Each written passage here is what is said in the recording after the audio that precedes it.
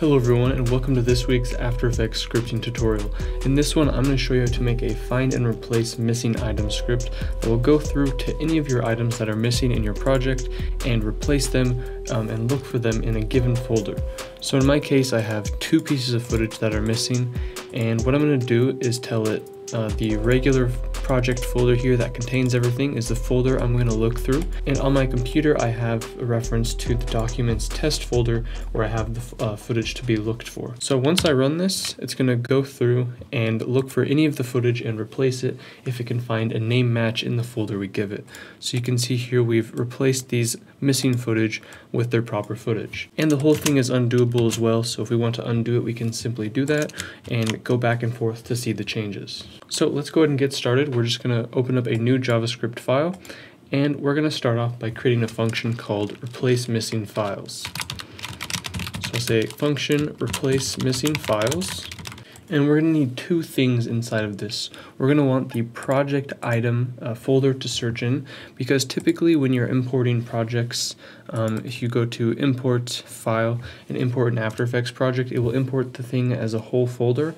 So I'm going to go ahead and give it a folder to look through just to make it easier. So I'm to call that uh, argument the project folder item. And then we need a system level folder to search through. So in this case, um, I have the footage in this test folder, and we're going to be referencing to this. So let's just call it the system folder, or better yet, we can call it the search folder path. Then I'm going to create a few variables. The first one called this folder, and then I'm also going to have a resource folder, which is going to contain um, a folder object with our search folder path. So in this case, we're going to make that a folder object with this path.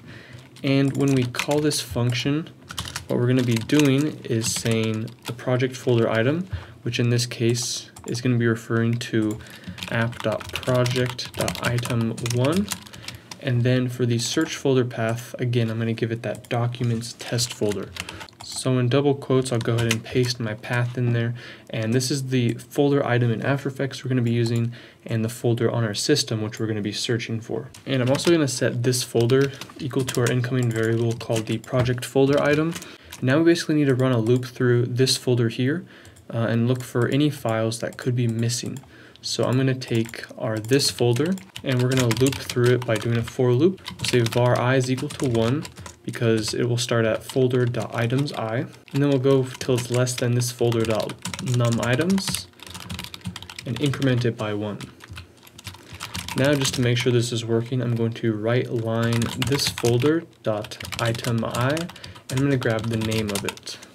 So now when we run this, you can see we're going to get a full list of all of the files it looks at inside of here. Then there are two checks we need to do to see if it's uh, valid to have a missing file and as well if it has the missing footage that uh, makes it look like this and have these bars.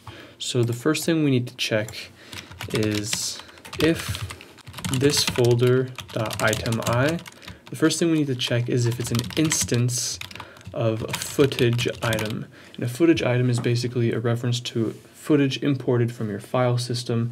It can be MP4, MP3, any of that. Then a second check we're going to do within that is we're also going to check if it's missing. If you load up the scripting guide and go ahead and type in dot footage, you can see we have dot footage missing. It's an attribute for any AV item, which is what we uh, just checked here basically.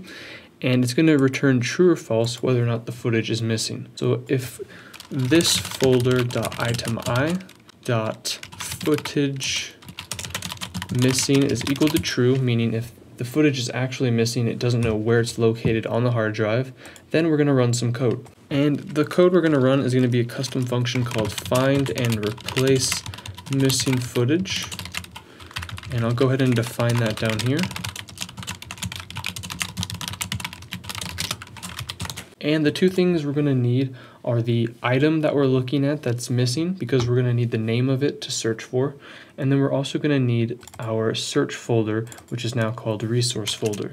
So I'm going to pass two arguments into find and replace missing footage function. We're going to give it this folder, the item i, again because we checked if this was a footage item and that indeed the footage from it is missing. So we're going to bring in this item as well as our resource folder. And then inside of here, we'll just uh, call this our item and our system folder, or we can even call it the search folder.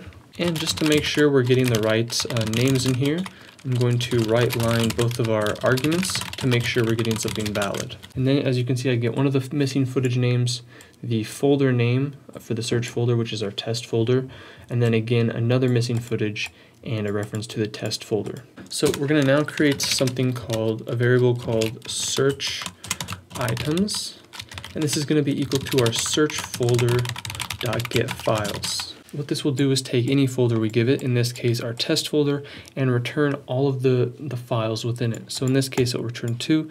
If we were to refer to just our documents, it would give us all of these files. Then what we're going to simply do is loop through all of these search items, and each time we're going to check if it has the same name as our item.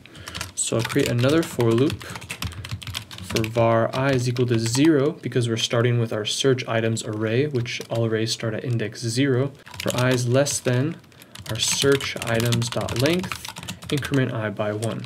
And then we're going to have a big fancy if statement to check if they're the same. And what I'm actually going to do is change the argument item to missing item.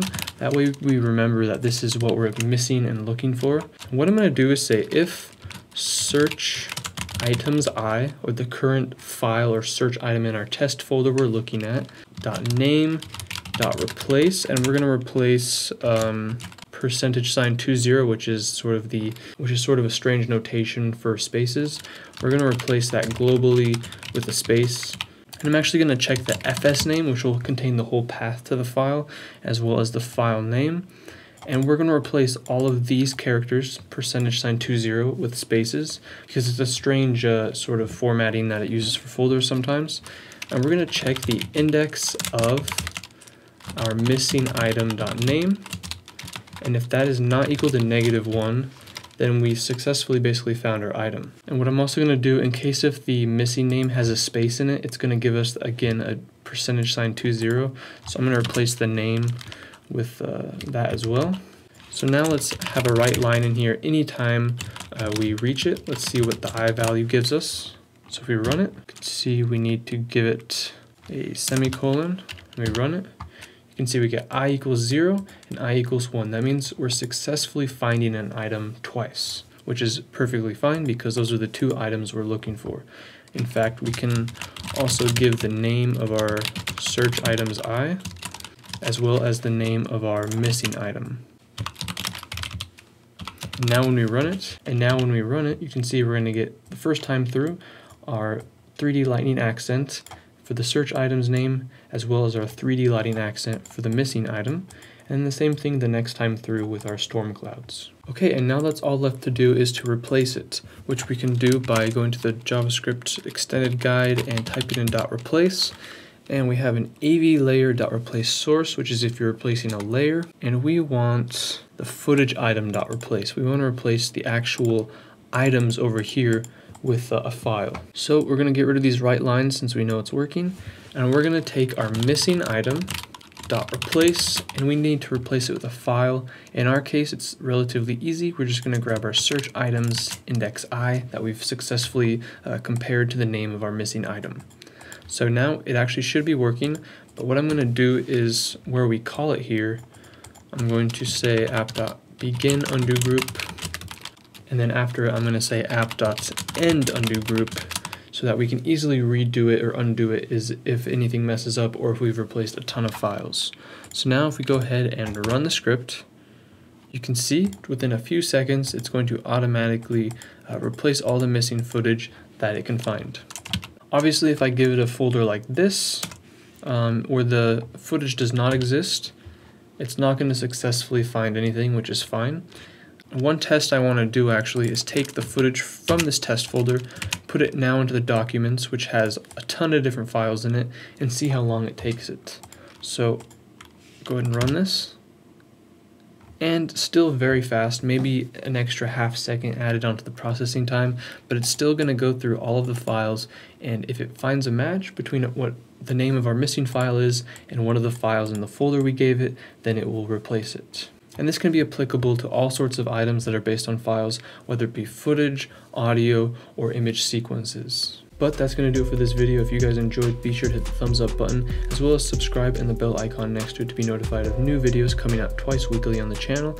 The script code for this will be in the description in the GitHub link, where you can also follow us there and follow us on Instagram to be notified of behind the scenes and fresh video uploads. Thanks again for watching everyone, and we'll see you in the next one.